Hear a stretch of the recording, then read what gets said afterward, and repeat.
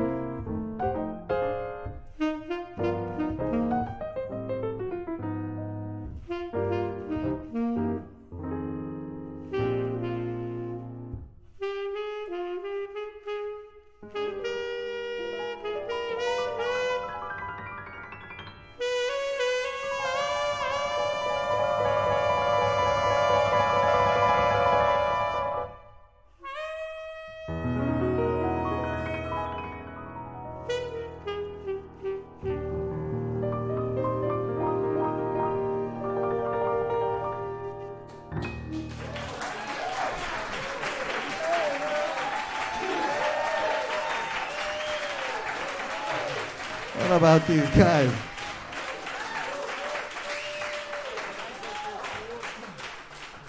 I want to sit. I want to be on your level. I want to come down here with you guys.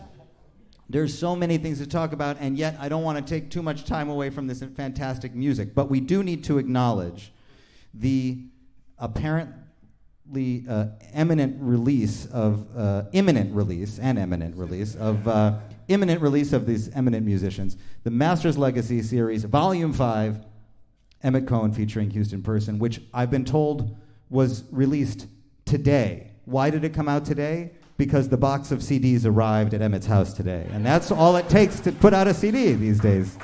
Is you just have to have the copies.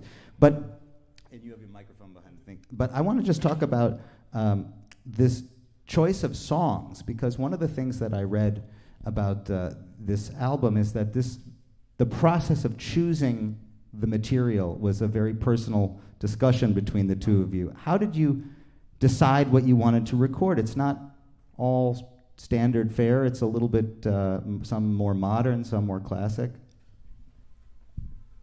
We were in love. oh, oh, I'm sorry. That's private.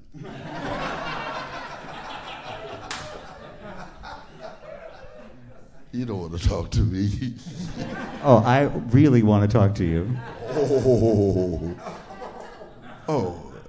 Well, we, we just uh, so many beautiful, great songs out there already. Um, we just wanted to uh, elaborate a little on them and uh, and and really show how beautiful these melodies can be played unadorned. And then we mess them up. Yeah. And uh, he's good at that. I'm not too good at that uh, image. I think his eminence, his eminence, his eminence. And Emmet, what about for you? This is the f- the fifth in a series of these records that you've been responsible for making, where you get together with the masters and, and bring some young energy into the room. What is this process like for you of going through, you know, so many of your heroes and working with them? Well, they're all so different, I would say, but this is the first time that I've ever felt like we're really friends. And, you know, Houston will call me up at 11 o'clock in the, in the evening and say, hey, man, have you heard this tune? It's written by so and so, and I think you would sound good on it. and that's friendship right there. And, uh, and, and, you know, I'll call him up and I'll say, hey, have you read this news story? And he said, yeah, I'm on top of that. He watches more news than anybody I know.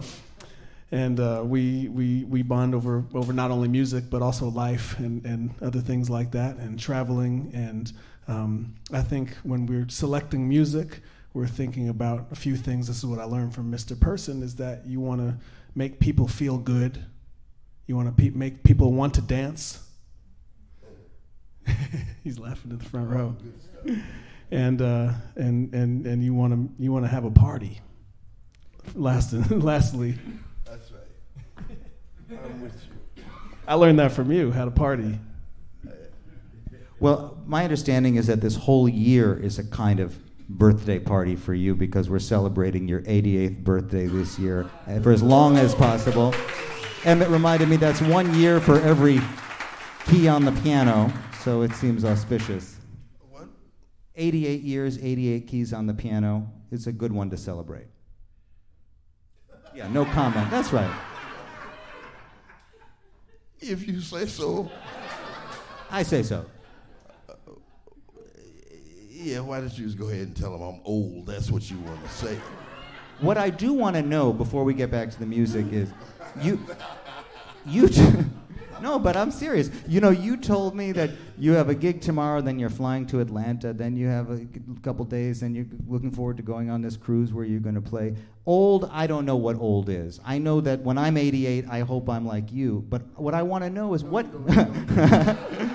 what is the secret to this kind of i mean you have a lot of energy and uh, it seems like you still love traveling and playing uh, secret uh, well i mind my own business if you mind your own business and stay out of other people's way, I, I just stay in my lane and I enjoy what I do in my lane. I don't try to uh, get in anybody else's lane, and I'm doing what I love to do. And I've been doing it now for, oh, we don't want to talk about that. but um, those things you do, and, and uh, live by certain rules, and I try to do something every day to help somebody else. Maybe give a, you know, give a, give a musician might have a question, a young musician, and I will tell them the truth about this profession, which is a wonderful profession. It's been good to me and uh, that's what I live by. And in any negative situation, I keep myself out of negative things. Uh, so I just mind my own business. you know, that's a good one. Mind your own business. I'll say that, that Mr. Person is also very open and, um, and, and, and receptive uh, to everything that goes on around. And if I have an idea, crazy idea, like walk, come, come walk up five flights of stairs and play a live stream during the pandemic. You know, he said, "Okay, I'll be there." or I said, "You know, well, we got we got a gig, you know, a couple of gigs across the country, and we got to do this and this." And he said, "Okay, I'll be there." And and I think that uh, that that coming some, from from such a positive uh, mindset and such an open mindset is is probably something that, that attracts so many people to to your music and, and what it is that you do. Well, you take care of me too. He takes care of me. I do act like an old man sometimes.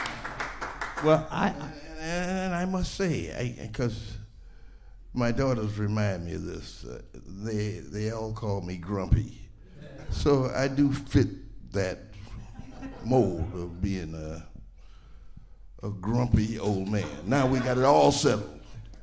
We, we, sorted that out. Well, I have a crazy idea. Uh, what if you uh, play a few more tunes for us? Yeah. We play a grumpy, a grumpy old tune. Grumpy old, some grumpy old tunes, yeah. yeah.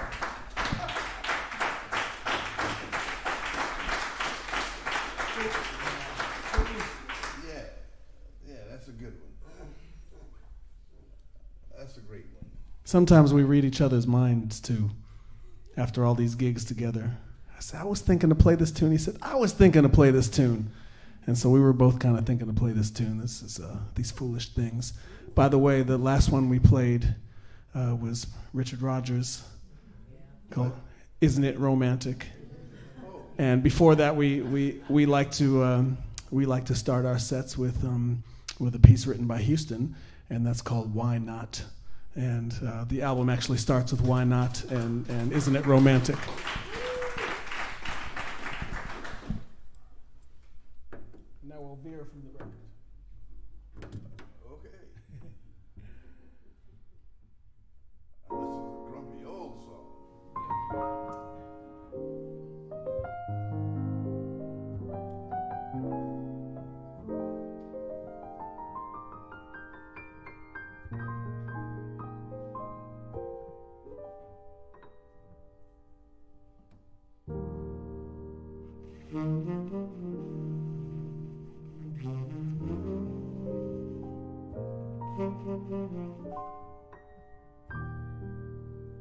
oh you.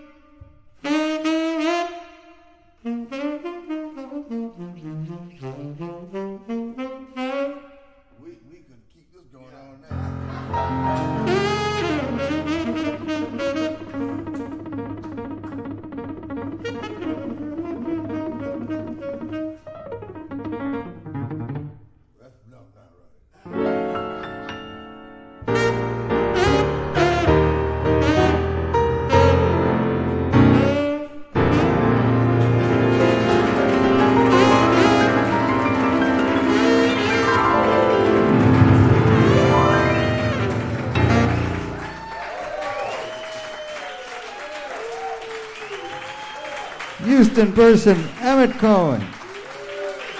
Wow.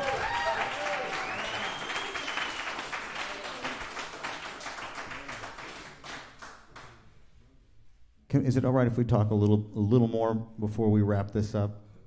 Because there's a lot of questions and so little time. We got time. We got time. How is playing in a duo format different? The record is a quartet, you've played together with the full band. I see there's a lot of playfulness and a lot of room for you to kind of stretch and, and, and have fun when it's in, in a duo. How, how is it different for you to be playing in a duo format? Well, we keep everybody else out of the way. it's, it's that simple. Uh, the, the, the, the larger the number you have, the more you have to conform, I think. Was that said intelligently? Yeah, oh, yeah. Oh, yeah, always. That sounded pretty good. Let me say that again. What did I say? Roll the tape back and see what it said. Yes, kick these. oh no, no. It, it's just the more you, the more people you have participating, uh, the more ways you have to go. It, so everybody has to watch out for everybody. But it's just the two of us, and we just have fun. And he'll throw an idea at me, and I'll try to develop it. If I don't, I fall by the wayside and give it back to him. Say, give me something else. And uh, that's where we have a lot of fun. But we make sure to go keep uh, putting the melody so that they don't forget what we're playing and we and we don't forget. so that, that that's where the fun comes in, trying to find your way back. And Emmet, what about for you? I mean, you have, uh, I think, a lot more space that you can fill up when you're not con- contained by your rhythm section. H- how does it change for you? Well, it's a totally different approach. Uh, but the main goals are the same to make music with one another.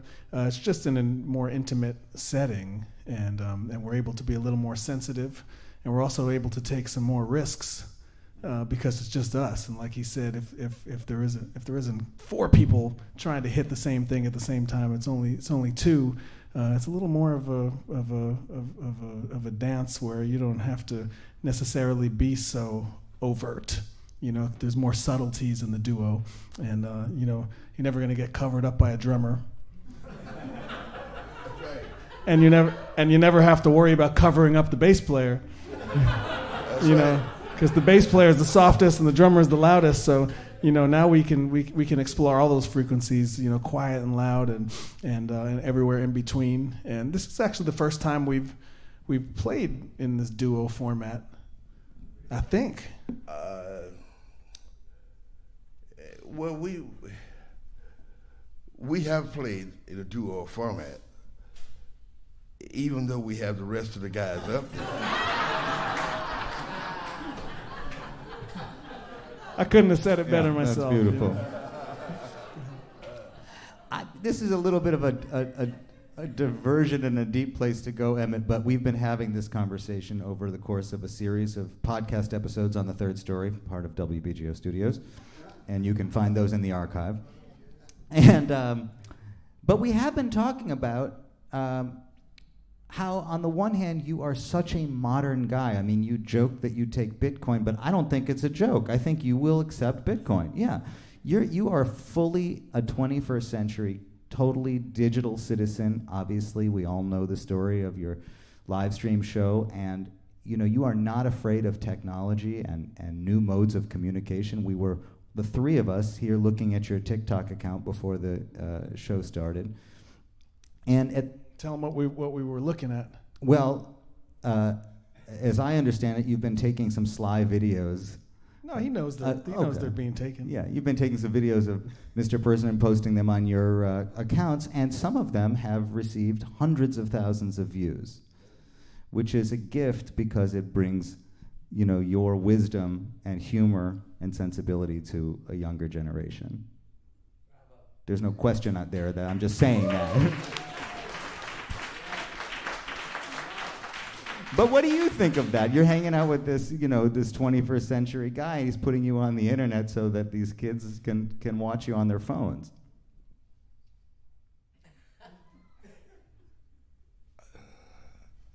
Well, I say what I have to say. I like him. I think he's wonderful. I hate him. he's, my, he's my guy.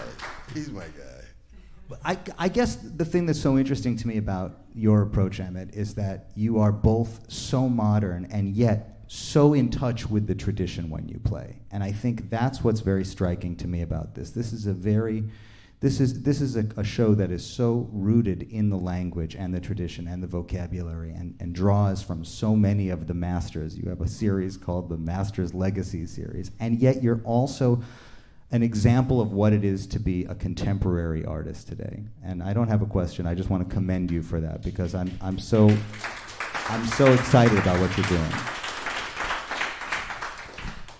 Thanks. I, I, I will say that um, I've learned through studying the music that the farther in the past you forge, the further in the future you'll be able to see and, and, and experience. And, and it works equally both ways. And I will also say that modern is an interesting term that we toss around a lot.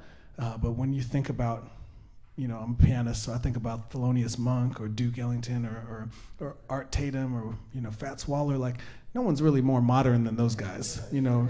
Like when you when you when you play and experience art in the moment, it can affect people who are alive in that time um, in the way that it's going to affect them and um, and it's the same with other art. If you go to the museum and you you know you look at Picasso, you don't say like, oh, it's some old stuff. No, it's like forever modern. And and when I play with with um, with master musicians, they are forever modern. When I play with Houston, what I hear coming out of the horn is the most modern thing you could possibly imagine. It's here and it's now, and it's making people feel real things in the moment. It makes me feel real things, and then we're able to, you know, to meet in that in, in that place of feeling and not of thinking and naming and all that.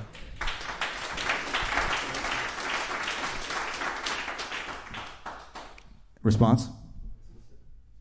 I agree with everything he says. Yeah, absolutely.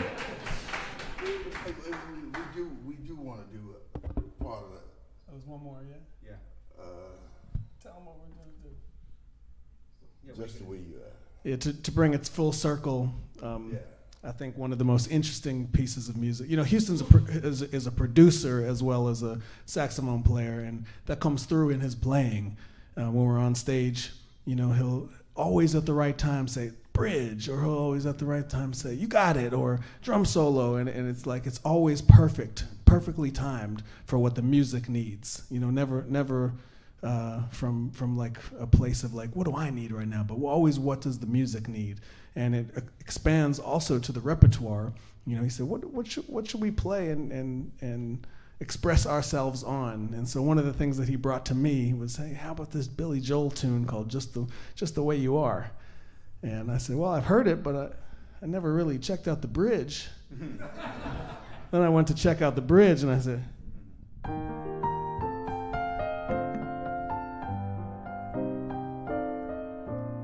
all of a sudden Billy Joel says,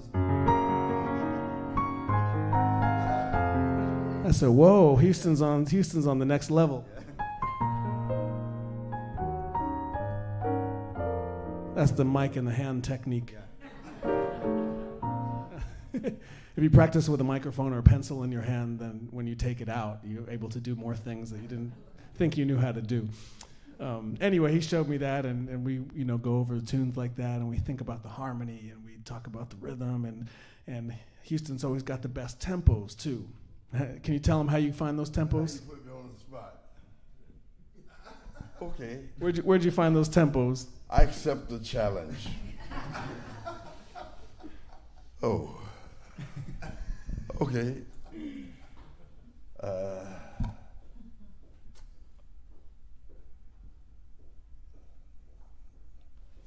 Okay. We we thinking the Savoy, Savoy. Not the song. Okay. Uh, uh, uh, uh, uh, uh.